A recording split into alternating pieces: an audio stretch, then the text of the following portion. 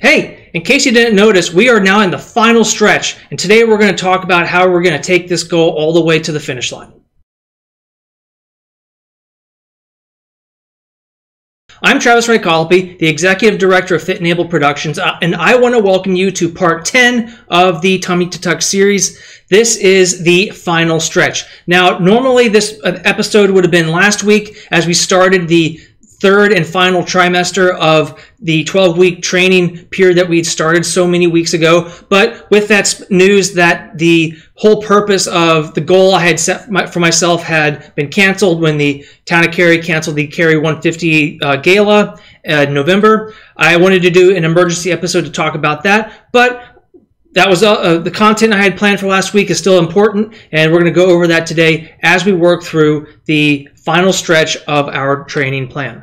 Now, part of what I want to do with this episode today is to show you that not only have I been preaching the past several weeks, but I have been practicing too. Now, obviously, I'm human like the rest of you. I have had my ups and downs where some days I didn't get, get out of bed and get, do the work, and others where I maybe ate or drank things I shouldn't have done that d- didn't contribute towards my goal. But on balance, I have been doing a pretty great, great job, and I want to make sure that in this final stretch, not only am I maintaining what I have been doing, but I am in fact escalating it as we all should be as we work towards the final steps of our goal. Now, one of the things I talked about in one of the earliest episodes was the value of joining a team. And this is something I didn't actually do when I started out this process. I thought I could go it alone, and I did a pretty good job. I know my strengths and weaknesses, and uh, I'm generally not a big fan of the group workout stuff. I do generally prefer to do things on my own, but there comes a certain point where you do need that extra group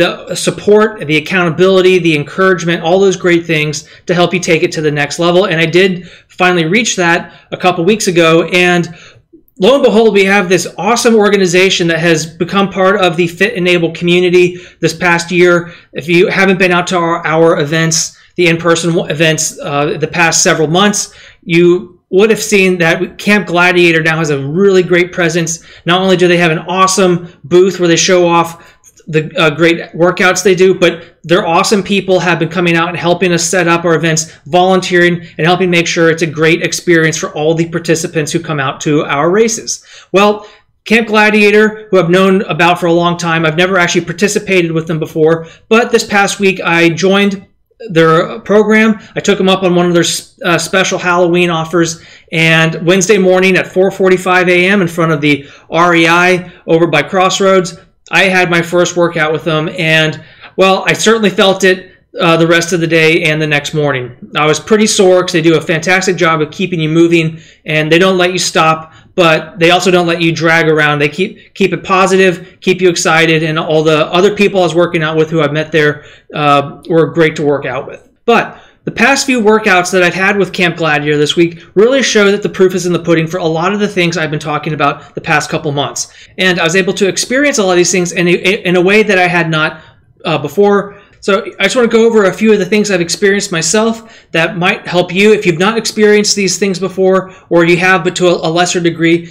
If you can kind of reorient your workouts or whatever activities you're doing that to where you might be able to experience these positive things. They might do you a world of good as you try to progress down that final stretch to your goal. First, when you change your uh, exercise routine, especially when you change the time of day, for me, I went from working out roughly between uh, 6 and 7 uh, a.m. to about 8, 8 a.m. to getting up at 4 a.m. to be at a workout that started at 445. Two things. One, getting your day rolling that much earlier really helps you your morning start off you know, if it got, for me personally, if it got to a place where I hadn't started my workout by like six or seven, there's a pretty good chance it wasn't just wasn't going to happen that day as I just lazily rolled into uh, feeling like, oh well, now it's too late to get get a workout in. I'm just going to get get to work, and that's my day. Well, that's not a great thing, but getting up early, make sure I had no excuses to get the workout in, and then I could still get to the rest of my day at a really good time and get rolling on the important things I needed to get done. Second, getting up at 4 a.m. really make sure that I need to go. I go to bed at a really early, reasonable time. I'm started uh, wearing out around 8, 8:30, and I wanted to make sure I was in bed by 9. One because I was really tired that day, but I also knew and a few short hours I'd be getting up again at 4 a.m. to get to the next Camp Gladiator workout, and I didn't want to cheat myself out on that sleep. Sometimes, obviously, I kind of laid awake a little longer than I had hoped to and didn't get as much sleep, but you know, I didn't let that alarm clock go ignored the next morning and got up and got going. The next thing is that getting up that early and getting going on a really intense workout made me really aware of what I put in my stomach the night before. The night before my first workout with Camp Gladiator, I had a very heavy dinner with a bowl of chili that obviously had the cheese and the chips and everything that went with that. And then I piled on some leftover birthday cake on top of that. And lo and behold, the next morning I was still feeling very full and that was a little uncomfortable to trying to get around doing some intense exercises. Fortunately, I didn't have to clean off my exercise mat or anything else. But, you know, I wish I didn't have that big rock in my stomach. So, as we've talked about before, as you start doing some of these uh, more positive habits with your exercise routines or whatever it is, you'll start to notice that that starts having a uh, bleed over effect on your other habits that start helping you make those positive as well. So, as I've changed a positive habit with my exercise routine, we're getting up early, getting going, where I have no excuse. That means I also have to be much more conscientious about what I put in my body the night before to make sure that I am ready to go the next morning and not feeling unnecessarily uncomfortable or full or whatever. And just generally all around need to be making some better choices with what I put in my body. The next thing is when you feel you're getting stuck in a rut with your exercise routine, it really helps to have a coach. And we've talked about this before.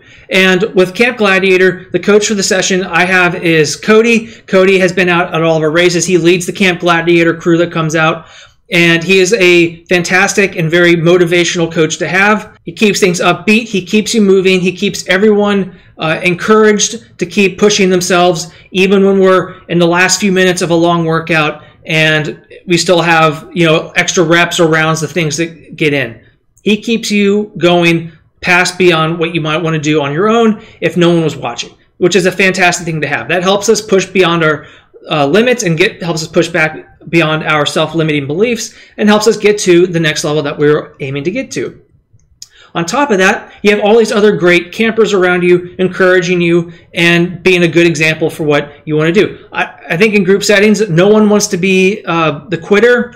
No one wants to be the one who's not keeping up and so it's a fairly positive, competitive thing. I wouldn't say it's like uh, toxically competitive because it's not like anyone's trying to bump the other, another person out of the way or make sure that they're getting ahead and somehow. It's just that everyone's there working hard and in, when you're in that environment you want to be there working hard too.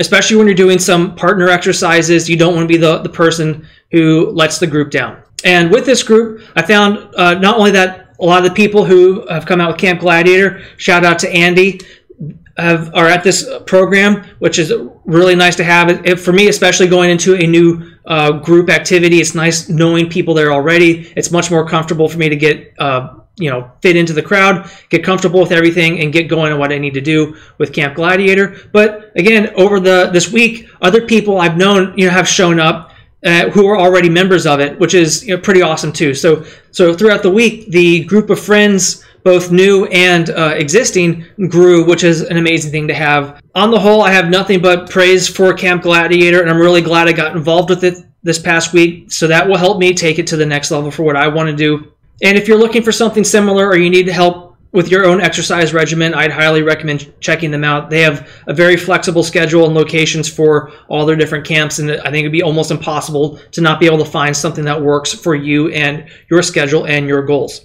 The point of this is really that now that we're in that final trimester of the plan, when we move from the first four week period into the second four week period, remember we had that video where we talked about escalating your plan and, and starting to ratchet up the intensity, the uh, endurance, and all the different pieces of your plan, whatever you might be actually working on, to move yourself from that novice phase to a more intermediate phase, and then so that you'll get yourself ready for the advanced phase that will take you all the way to the finish line of your goal. Well, now we are in that advanced phase. So if you did the work that you were supposed to and ratcheted up your effort, you should be ready to go and have a good foundation for what you need to do in this final phase, which again is to keep ratcheting it up if you have a race deadline coming up, you know you have that distance and you know you have a time that you're wanting to achieve. Well, now is when you start really putting all those pieces together and really driving towards that goal. Again, if you found some things in the intermediate phase that didn't work for you, you still have a little bit of time to tweak, but by now what you're doing should really be concrete and dialed in for the kind of activities that you need to be doing. Whatever your goal might be, those activities will be different.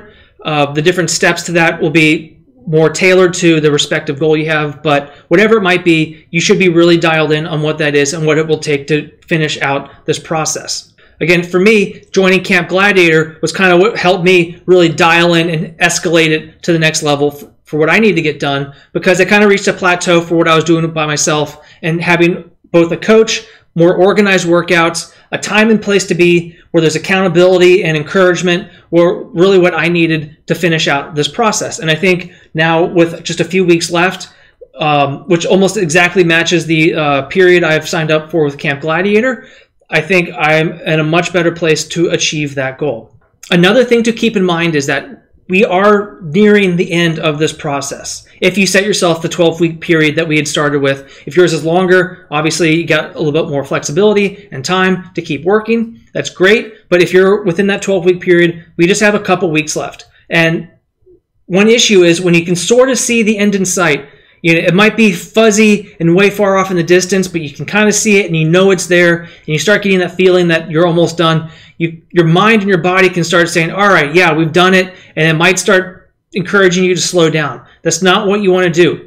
When you're racing, you always run all the way through the finish line. You don't stop before the finish line, you don't stop on the finish line, and you don't even slow down. You race full steam ahead all the way across the finish line, and you don't stop until there's someone way beyond handing you a bottle of water and a medal and a high five. Same thing when you're working for your goal. Do not slow down now. You're supposed to be escalating your intensity again, uh, increasing workout intensity, reps, mileage, weight, whatever it might be. Do not start backing off now. Finish out strong. A strong finish can have as just as much weight on your whole progress, your whole feeling about what you've accomplished, and your ability to move on to the next goal, you know, as much as anything else.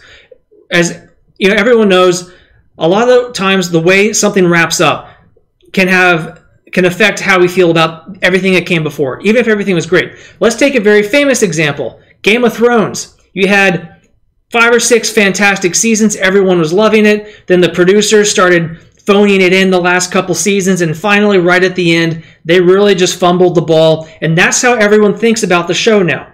You kind of everyone loved the first seasons, but everyone remembers how they felt and how disappointed they were with the ending. And that kind of affects how they feel about the rest of the show before even all the stuff they loved. Same goes with your goal. Don't flood the finish because it'll uh, color how you feel about everything you accomplished beforehand. So keep going strong. Now, as you remember, this is a 12 part series. Today is part 10. That means we got two episodes left, and we're going to continue to drive strong towards the finish with a few other topics. As always, if you like the content, please subscribe to the channel, like the video, hit that notification bell so you don't miss future episodes. And if you have any comments or questions, please drop one below the video. Always appreciate the feedback even if it is something about myself and how I can improve these videos, because I'm going to keep coming back and doing more and more of these videos. That's part of my goal process as well. And if I can make them better in any way possible, let me know. And as always, if you know anyone in your life who might benefit from the Tummy to Tux series or any of other Fit and Able videos, please share this with them and it might help them out too. We look forward to seeing you at some of our upcoming events. And as always, thank you for racing with Fit and Able.